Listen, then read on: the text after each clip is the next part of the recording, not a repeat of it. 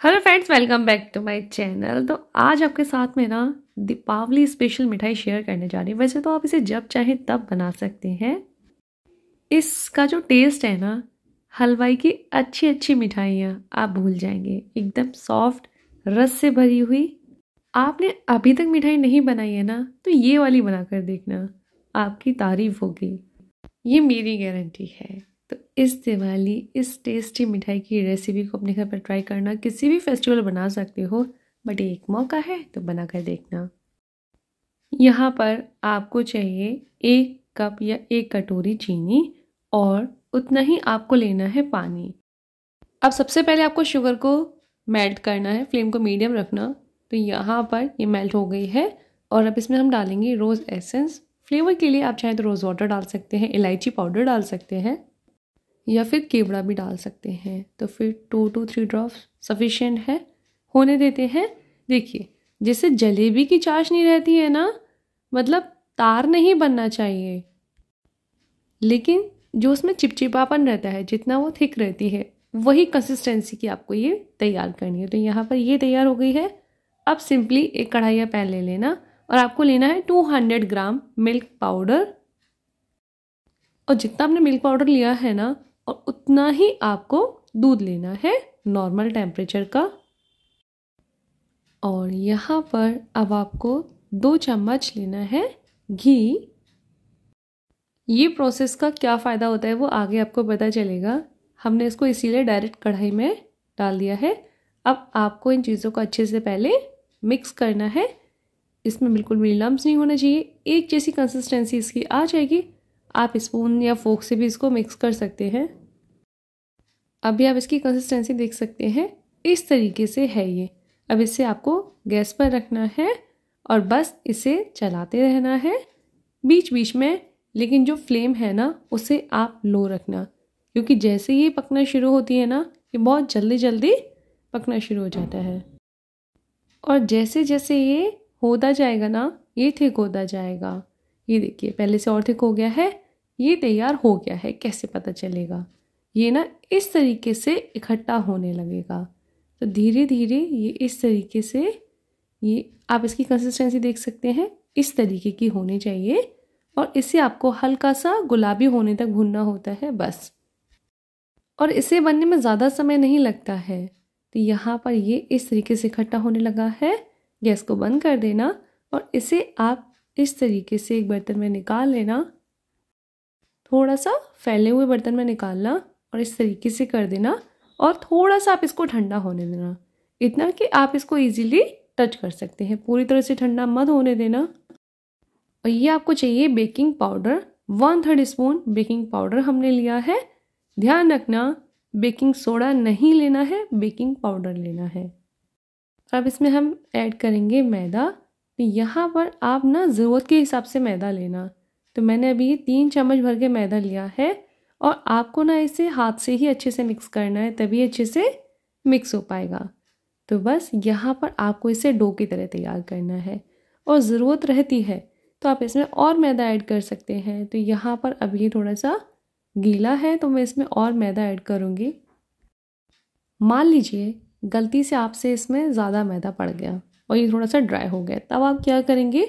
इसमें हल्का सा गुनगुने दूध की चीटें लगाना और अच्छे से इसको नीट कर लेना। और मान लीजिए थोड़ा सा ये गीला रह जाता है, नहीं आप इसको हैंडल कर पा रहे हैं तो फिर सूखा मैदा डाल लेना, बस फिर इसको अच्छे से नीट कर लेना। ये हो गया है, कैसे पता चलेगा? तो देखिए आप ना इस तरीके से बॉल बनाकर देखना, इसमें ना बिल्कुल भी क्रैक्स नहीं होने चाहिए। तो बस ये हो गया है नीट अच्छे से किया है। अब आपको क्या करना है मेन काम, आपको ना इसे इस तरीके से और भी अच्छे से इसको नीट करना है। ये इस तरीके से तो ये आप तीन से चार मिनट के लिए कर लेना तो ये जो डो है ना, बहुत अच्छे से बनकर तैयार होगा। और ये प्रोसेस ना यदि ये डो ठंडा हो गया, तब आपने किया तो इसमें लम्ब्स बन जाएँगे तो वो लास्ट में रिज़ल्ट भी अच्छा नहीं आएगा। तो बस यहाँ पर ये देखिए, बिल्कुल भी क्रैक्स नहीं है, अच्छे से बनकर तैयार हो गया है। अब आपको इस पर कुछ भी आप ले लेना, उस पर घी लगा के हल्का सा, और बस आपको इसे हल्के हाथ से बेलना है। जैसे बर्फ़ी बनाते हैं ना, बट उससे थोड़ा सा पतला रखना है मतलब ज़्यादा भी नहीं, आप देख सकते हो इसकी थिकनेस कितना आपको इसे रखना है। क्योंकि ये जब हम इसको फ्राई करेंगे तो ये फूलता भी है साइज़ से डबल हो जाता है। तो बस इस तरीके से रखना और ज़्यादा पतला भी मत बनाना वरना ये टूट भी जाएगा क्योंकि बहुत सॉफ्ट भी बनता है।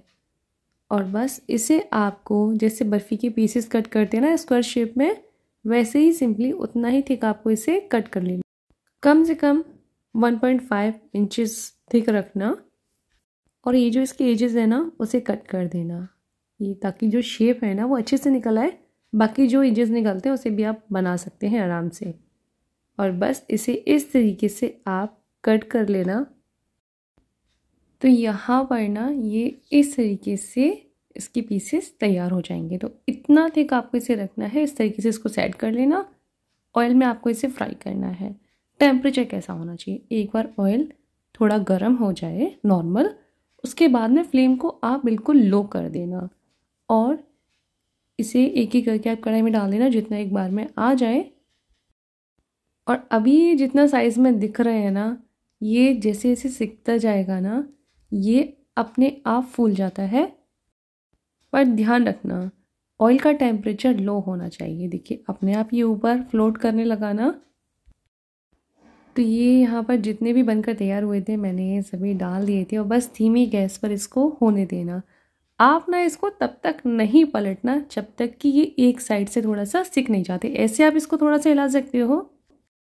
बाकी जब तक ये एक साइड से इतना नहीं सिक जाता लो फ्लेम पर, तब तक आप इसको नहीं पलटना। है ये बिल्कुल जैसे रुई सॉफ्ट रहती है ना, वैसा ही सॉफ्ट रहता है जब तक कि सिकता नहीं है।